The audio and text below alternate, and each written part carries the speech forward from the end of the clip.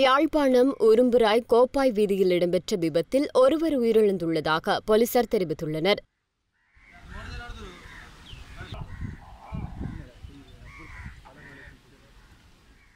உரும்புராய் கிருஷ்ணன் கோவில் அடியில் இன்று காலை இந்த விபத்து இடம்பெற்றுள்ளது.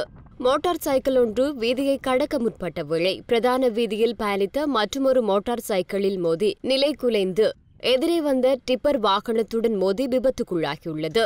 சம்பவத்தை அடுத்து மோட்டார் சைக்கிளில் பயணித்தவர் படுங்காயங்களுடன் யாழ்ப்பாணம் போதனா வைத்தியசாலையில் அனுமதிக்கப்பட்டுள்ள போதிலும் அவர் சிகிச்சை பலனின்றி உயிரிழந்துள்ளதாக போலீசார் தெரிவித்துள்ளனர். சம்பவம் தொடர்பாக கோப்பாய் போலீசார் மேலதிக விசாரணைகளை முன்னெடுத்துள்ளனர். இது போன்ற முக்கிய செய்திகளை உடனுக்குடன் அறிந்து கொள்ள ஆதவன் யூடியூப் சேனலை சப்ஸ்கிரைப் செய்யுங்கள்.